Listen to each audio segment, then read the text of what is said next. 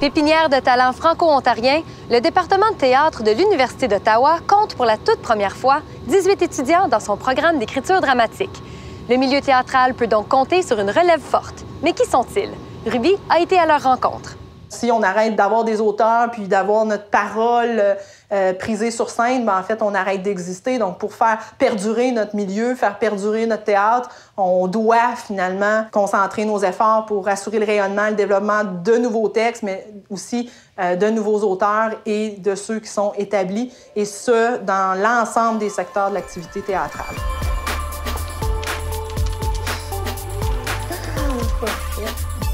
Suite à 2009, on s'est donné, nous, 10 ans pour mettre de l'avant les grands euh, champs d'intervention, euh, donc notamment la dramaturgie. Donc, c'est quand même du travail de longue haleine qu'on se donne. Théâtre Action, bonjour.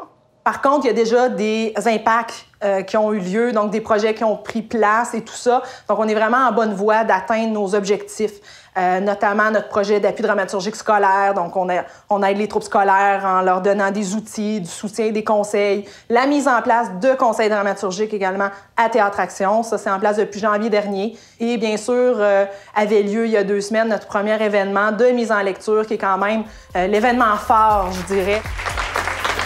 Nous sommes fiers aujourd'hui que vous soyez présents pour l'ouverture officielle de notre événement Les Feuilles Vives, paysage de la dramaturgie franco-ontarienne.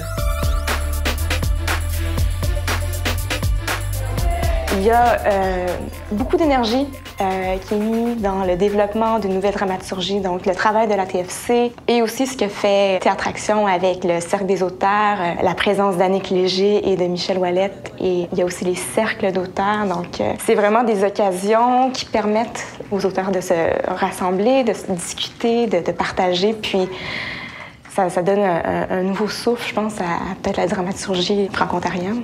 Moitié-moitié, par exemple, ça a été mon, premier contrat professionnel dans le domaine artistique, si on veut. J'ai rencontré une tonne de gens intéressants qui m'ont poussé à aller jusqu'au bout, que ce soit en jeu ou, par exemple, en écriture. Oh, t'es gêné de nous la présenter. Y a pas de raison, elle a l'air super cool. Comment tu sais ça? Ben, moi puis Lucas, on a fait des recherches sur le net tantôt. Puis on a trouvé plein de photos. Elle est vraiment cute, hein? Depuis peut-être euh, deux ans, j'ai vraiment eu le goût d'écrire de manière professionnelle, de vraiment me consacrer à, ça. Elle recouvre ma petite peau rouge avec des pantalons et un col roulé serré autour du cou.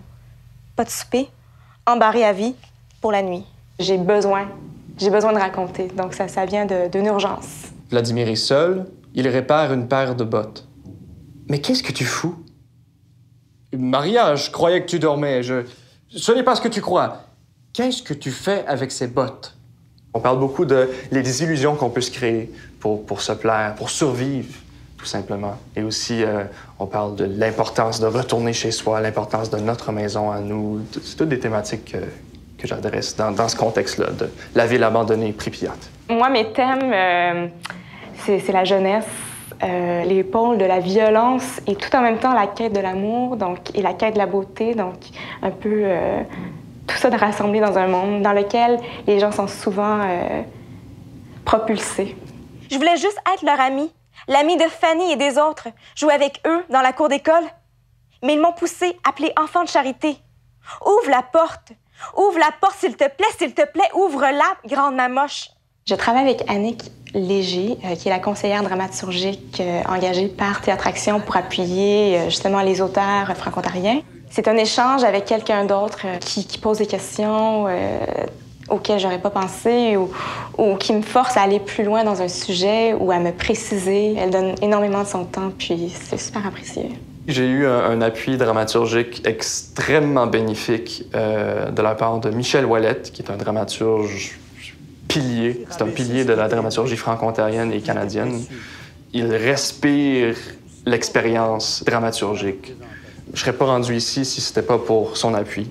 C'est sûr que l'appui de Michel euh, je l'ai eu grâce à Théâtre Action, grâce à leur programme de soutien dramaturgique. Donc, c'est c'est vraiment apprécié. Les auteurs ont senti qu'on leur donnait la parole et je pense que ça, ça a été entendu et ça a été bien reçu. Puis on le voit que de plus en plus, de par les services qui sont mis en place, Euh, il y a plusieurs auteurs qui nous appellent. Donc, on, on sent maintenant qu'on n'est plus dans, dans l'étape de chercher, mais bien de se faire trouver.